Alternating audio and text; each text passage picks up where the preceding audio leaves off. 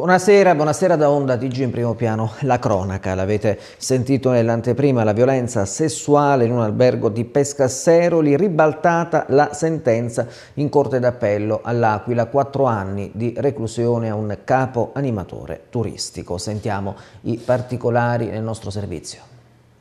4 anni di reclusione, 10.000 euro di provvisionale, risarcimento delle guidarenze di civile e pagamento delle spese processuali e questa è la pena inflitta dalla Corte d'Appello dell'Aquila per un 32enne capo animatore turistico di origine siciliana accusato di aver violentato una sua collaboratrice del nord Italia in un albergo di pesca a Seroli. Il giovane, dopo dieci mesi di arresti domiciliari, era stato assolto nel luglio 2020 dal collegio del Tribunale di Sulmona. La procura aveva impugnato la sentenza e i giudici aquilani hanno riaperto il caso, ordinando di ripetere l'escussione di tutti i testimoni. Ieri, davanti alla corte, è stata sentita la vittima che ha confermato l'accuse. Ho subito violenza per tutta la notte, ha detto la giovane, assistire in giudizio dell'avvocato Alessandro Scelli, che aveva chiesto la riforma della sentenza di primo grado con la condanna dell'imputato. Per l'episodio che risale a 28 agosto 2019 la Corte ha condannato l'imputato a 4 anni a fronte di una richiesta di 7 avanzata dalla Procura. All'epoca dei fatti l'indagine era stata curata dall'attuale procuratore capo della Repubblica di Pescara, Giuseppe Bellelli. Secondo l'imputazione, nel corso di una discussione al termine del turno lavorativo, dopo settimane in cui proponeva offerte amorose non corrisposte e poneva in essere comportamenti ritorsivi, approfittando anche della posizione di diretto superiore dello staff di animatori turistici, l'imputato avrebbe intrapreso una discussione con la giovane nella stanza riservata a personale, chiedendole un rapporto sessuale. Il secco rifiuto della sua sottoposto non avrebbe fatto desistere. La donna aveva raccontato di essere stata bloccata sul letto con la forza, costretta quindi a compiere e subire la prestazione sessuale. La ragazza finì all'ospedale di Avezzano che rilevò lacerazioni, attivando il percorso di protezione che portò alle indagini dei carabinieri e all'arresto del presunto autore. E ora la cronaca ci porta nel carcere di Castrogno, tentò di uccidere la moglie con ben 10 coltellati a Capestrano, muore suicida in cella, un 36enne macedone a fare la mara scoperta. In giornata è stata la polizia eh, penitenziaria, sentiamo i particolari al nostro servizio. Si è tolto la vita nel carcere di Castrogno di Teramo il 34enne macedone, autore del tentato femminicidio di Capestrano. L'uomo lo scorso 14 novembre nel piccolo centro della provincia dell'Aquila aveva sferrato ben 10 coltellate alla moglie convivente in diverse parti del corpo la presenza dei figli minori. Poi tentò di farla finita ingerendo un quantitativo imprecisato di farmaci. Arrestato e trasferito in cella dal giorno successivo, ha reiterato in giornata l'estremo gesto dietro le sbarre del carcere teramano Milano. Sulle circostanze del decesso sono in corso gli accertamenti della Procura della Repubblica di Teramo territorialmente competente, ma anche della Polizia Penitenziaria che ha fatto la mara scoperta. Al 34enne lo scorso dicembre il Tribunale per i minorenni dell'Aquila aveva sospeso la potestà genitoriale. E ora con la cronaca torniamo in Valle Peligna, agricoltori in ginocchio, 50 trattori nel piazzale del casello autostradale di Pratola eh, Peligna, si allarga la protesta, arriva fino al territorio peligno perché dicono così, non si può più andare avanti. Vediamo eh, tutto nel nostro servizio. Contro la riforma della PAC, il caro gasolio, ma soprattutto la mancanza di pagamento da parte dell'AGEA, l'Agenzia Erogazione Fondi Agricoltura, per questo siamo qui, perché non si può più andare avanti. Con queste parole gli agricoltori della Valle Peligna aprono la protesta nel parcheggio del casello della 25 a Pratola Peligna. Circa 50 trattori si sono sistemati nell'area per protestare contro il taglio dei sussidi, costi esosi di produzione, le politiche agricole dell'Unione Europea. La manifestazione pacifica che raduna agli operatori del settore attivi nel centro Abruzzo viene sorvegliata dal settore anticrimine del commissariato di Sulmona. La classe politica è stata la meno attenta delle ultime generazioni alle riforme ai danni della fauna e non solo. Ogni volta che si deve rinnovare il libretto gasolio all'inizio dell'anno è una tragedia. Le attrezzature e i contributi per la minima lavorazione non sono stati erogati. Non siamo mai arrivati a tale bassezza con l'avallo delle associazioni di categoria Commentano ancora gli agricoltori, analoga iniziativa si sta svolgendo. Non troviamo neanche le parole per esprimere il nostro disagio, dalla carne sintetica alle farine di grillo, alle, alle accise sui, sui carburanti agricoli, alla riduzione dei carburanti agricoli destinati a noi ai tagli dell'AGEA, della PAC eh, che ci stanno togliendo i prezzi, i prezzi dell'agricoltura, dei nostri prodotti che non, eh, non sono più sostenibili in quanto stanno scendendo a picco tutti i prodotti che noi facciamo, mentre i prodotti che noi andiamo ad acquistare sono lievitati del triplo, quindi è insostenibile questa, questa politica, questa politica insomma, ecco. Siamo, siamo allo sbando totale, cioè stiamo a rischio fallimento tutte le nostre imprese agricole. Eh, l'uva quest'anno c'è stato la peronospera, le cose, quindi non c'è stato neanche un sussidio per, eh, per tutelarci la viticoltura. Eh, il grano che viene dall'estero, quando noi facciamo il miglior grano, del, il miglior grano e non è non è neanche valorizzato, valorizzato insomma, esatto. L'emergenza abitativa con le case nel contratto di quartiere, la giunta comunale di Palazzo San Francesco amplia i requisiti eh, del bando per favorire una maggiore partecipazione. Facciamo il punto nel nostro servizio.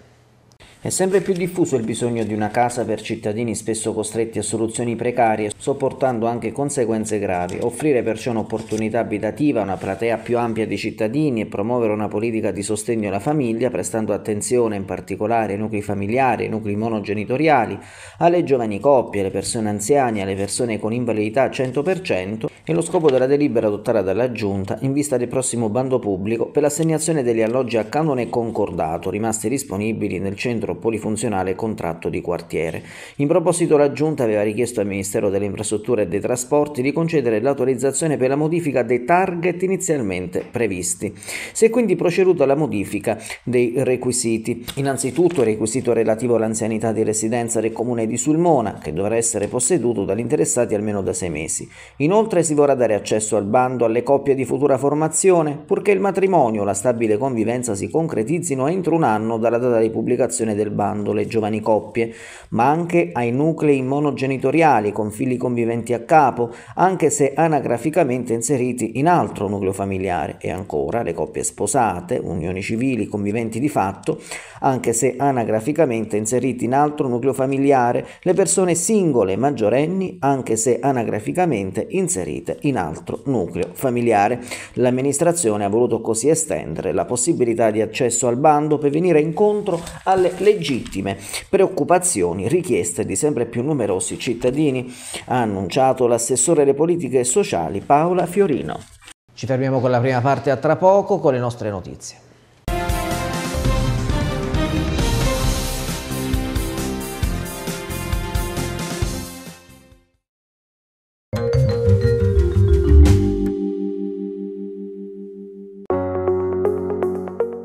Quando abbiamo pensato a Parco del Gusto la prima importante scelta che abbiamo fatto è stata quella di contestualizzare la nostra struttura all'interno del nostro territorio. Difatti la struttura oltre ad essere completamente in legno ospita un impianto fotovoltaico che ci permette di soddisfare tutti i nostri fabbisogni energetici. Parco del Gusto è l'ultima novità firmata a Coop Ansape Terra Antica in cui all'interno è possibile trovare tutte le specificità e le tipicità della Valle Peligna e della regione Abruzzo. La nostra filosofia all'interno di Parco del Gusto è quella di promuovere tutte le produzioni di nicchia, locali, che sono in grado di raccontare il nostro territorio. Dalle aziende storiche del nostro territorio fino alle produzioni biologiche e agricole della nostra valle, come i legumi, cereali, farine, per passare poi alle paste, le trafilate in bronzo, le produzioni artigianali, ecco questi sono alcuni dei prodotti che compongono le scelte fatte da Parco del Gusto.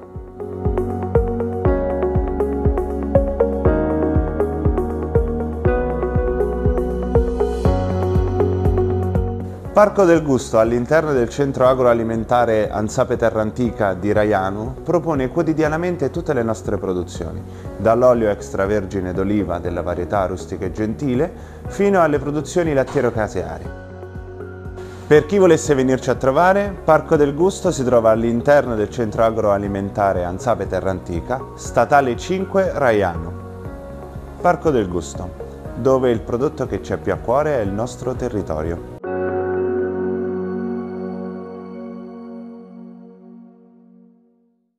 Casa Funeraria Santilli, un luogo dedicato alle famiglie che desiderano onorare e trascorrere momenti di riflessione e ricordo dei propri cari che ci lasciano in un ambiente accogliente di conforto e serenità. Siamo qui per supportarvi in tutto ciò di cui avete bisogno. Il nostro obiettivo è fornire un servizio personalizzato, garantendo il rispetto e la cura che ogni persona merita. Casa Funeraria Santilli, via Edward Lear, a Sulmona.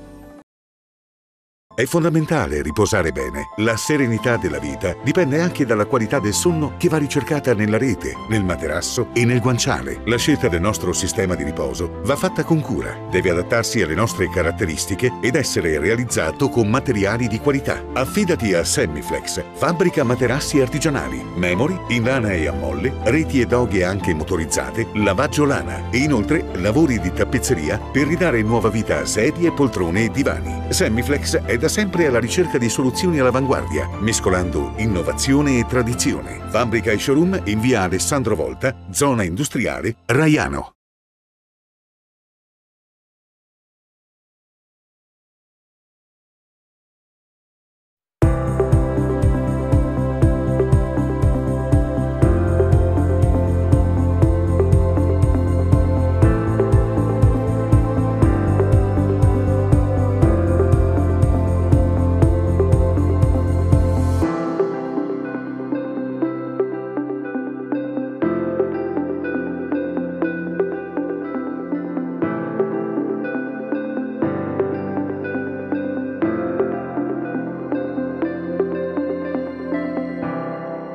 Pranzo o a cena, ristorante Pizzeria La Vigna, via Cerrano, Prato La Peligna.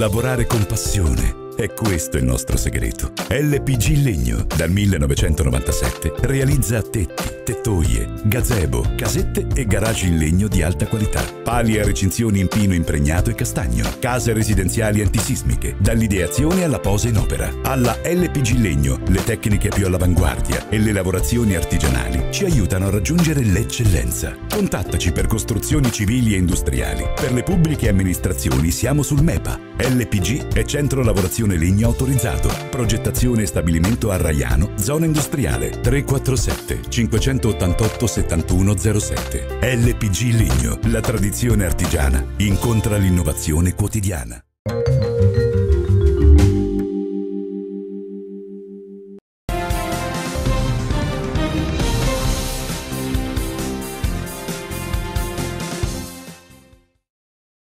Seconda parte, ripartiamo dalla politica che finisce in tribunale, dagli affari e i poteri nella politica. Il PD, il PD per queste eh, frasi, per questi toni ha denunciato gli ex militanti, ma la Procura della Repubblica di Sulmona ha chiesto l'archiviazione per cinque. Sentiamo eh, di cosa si tratta nel nostro servizio. Il tono e le parole sono taglienti, sferzanti, perché esprimono un totale dissenso ideologico, ma non possono essere qualificati come inutilmente umilianti né ingiustificatamente aggressivi. Inoltre sussiste la verità della notizia riportata. Con queste parole il sostituto procuratore della Repubblica di Sulmona, Edoardo Mariotti, ha chiesto l'archiviazione al giudice per le indagini preliminari per Alessandro De Panfilis, Carlo Piccone, Salvatore Di Cesare, Antonio Del Boccio e Rossella Tonelli, cinque ex militanti del PD che lo scorso 23 giugno giugno, in una nota diffusa alla stampa, avevano preso le distanze da partito. La vicenda riguarda il bando della refezione scolastica a cui aveva risposto una sola ditta, amministrata da commercialista associato allo studio professionale in cui lavora il consigliere comunale Mimmo Di Benedetto. I cinque nel comunicato dichiaravano di aver preso le distanze da partito per comportamenti non condivisibili, chiaramente orientati alla ricerca del potere e degli affari, per la pericolosa commistione di ruoli amministrativi e politici tra assessore ai lavori pubblici e segretario di circolo. Gli estensori della nota chiedevano inoltre commissariamento del circolo, toni diffamatori secondo il segretario Franco Casciani che ha nominato legale di fiducia Vittorio Masci e il consigliere Di Benedetto che hanno presentato querela nella stazione dei carabinieri per stigmatizzare e denunciare accuse gravissime e assurde che hanno un intento chiaramente denigratorio. Non è dello stesso avviso la procura che ha chiesto al giudice di archiviare le accuse formulate a carico dei cinque indagati difesi dall'avvocato Teresa Nanarone. I termini utilizzati nella lettera, seppur pungenti, non sembrano travalicare il limite della continenza, scrive Mariotti, ribadendo che sussiste la verità della notizia riportata, da qui la richiesta di archiviazione perché fatto non sussiste o comunque il fatto non costituisce reato e in subordine per la tenuità del fatto. E ancora la cronaca giudiziaria, non ci fu abuso d'ufficio, due assoluzioni per il processo che riguarda l'ufficio tecnico di Rivisondoli. Sentiamo nel nostro servizio. Il fatto non sussiste con questa formula il collegio del Tribunale di Sulmona ha assolto questa mattina Attilio Palombizio e Luigi La Civita, rispettivamente responsabile e collaboratore dell'area tecnica del comune di Rivisondoli, dall'accusa di omissione di atti d'ufficio in concorso. I fatti risalgono al periodo 2019-2021. La vicenda fa riferimento all'attività di vigilanza in materia urbanistica ed edilizia relativamente a quattro procedimenti penali aventi oggetto abusi già sanzionati dall'ufficio tecnico. Secondo l'accusa gli imputati non avrebbero evaso le richieste di informazioni da parte del comandante della stazione dei carabinieri di Pesco Costanzo in ordine a tali procedimenti. In realtà nel corso del processo è venuto fuori che quelle richieste non attenevano alle funzioni assegnate all'architetto La Civita e non sussisteva alcun obbligo in capo all'ingegnere Palombizio, il quale peraltro aveva pure evaso le richieste avanzate dei militari. Da qui la soluzione con formula piena perché il fatto non sussiste. Gli imputati sono stati difesi dagli avvocati Pietro Savastano, Umberto Di Pillo, Anna Rita La Civita. Allagò una sezione del carcere e tentò di uccidersi con l'elastico degli slip. Alla fine il collaboratore di giustizia del carcere di Sulmona è stato trasferito in altra struttura, proprio come avevano chiesto le organizzazioni sindacali. Sentiamo tutto nel nostro servizio. È stato trasferito in altra struttura penitenziaria collaboratore di giustizia di 40 anni che lo scorso 4 gennaio aveva tentato di uccidersi nel carcere di massima sicurezza di Sulmona. L'uomo negli ultimi tempi si era reso protagonista di azioni eclatanti, turbando e non poco la serenità nell'ambiente penitenziario. Nelle scorse settimane aveva tentato il suicidio con l'elastico degli slip, ma lo scorso anno per ben due volte aveva allagato con l'idrante un'intera sezione penitenziaria dando in escandescenza, arrivando perfino a minacciare gli agenti penitenziari operanti, un detenuto problematico che le sigle sindacali da tempo avevano chiesto di trasferire in altra struttura penitenziaria, richiesta dopo tanto accolta. Il carcere di Sulmona si conferma uno dei più difficili da gestire, con una carenza di personale tra i penitenziari che tocca i massimi storici tra 60 malattie e oltre 30 distacchi. Un'esperienza di turismo sostenibile tra fede e natura è il cammino di Celestino, ne parliamo nel nostro servizio. Tra le proposte di turismo sostenibile che il Ministero del Turismo ha raccolto nel suo catalogo dei cammini religiosi c'è il Cammino di Celestino, un itinerario che attraversa l'Abruzzo seguendo le orme di Pietro Angelerio, l'eremita che divenne papa con il nome di Celestino V nel 1294. Il Cammino di Celestino, nato nel 2018, si snoda per circa 150 km tra le montagne della Maiella e del Morrone, dove si trovano gli eremi rupestri frequentati da Celestino e dai suoi seguaci, le città storiche e artistiche dell'Abruzzo, come L'Aquila, Sulmona e Pacentro. Il percorso termina a Ortona, dove si trova il santuario del miracolo eucaristico. Il cammino di Celestino è un'occasione per scoprire la bellezza e la diversità del territorio abruzzese tra paesaggi naturali, patrimonio culturale, tradizioni gastronomiche e spiritualità. Il cammino di Celestino è anche un modo per vivere un'esperienza di crescita personale e di condivisione con gli altri camminanti, che ricevono la Carta Peregrini, un documento che attesta la loro partecipazione al cammino e che offre loro vantaggi e sconti lungo il tragitto.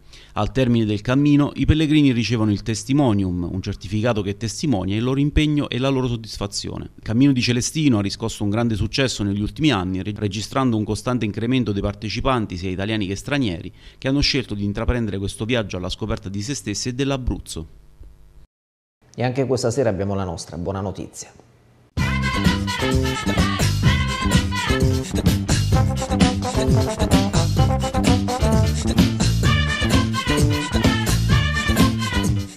Un premio per il pilota sulmonese Cristian Micocero domenica scorsa nel corso del Motorbike Expo di Verona, il maggiore evento fieristico internazionale italiano dedicato ai motociclisti, si è svolta la premiazione ufficiale di tutti i campioni dei trofei nazionali di moto velocità su pista stagione 2023.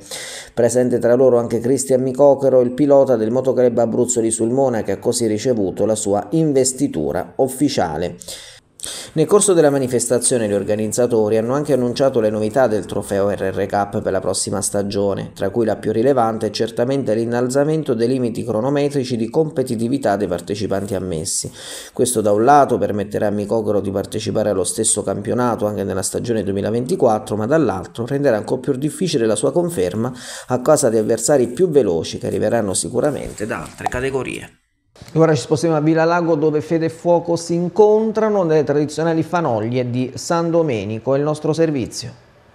I nostri riferimenti prima di chiudere sull'home page del nostro sito internet abbiamo la violenza sessuale con la sentenza ribaltata, il caso di Castronio, le notizie del giorno www.ondariv.tv per seguirci in tempo reale. Bene, noi ci fermiamo qui, grazie per la vostra attenzione, a tutti una buona serata.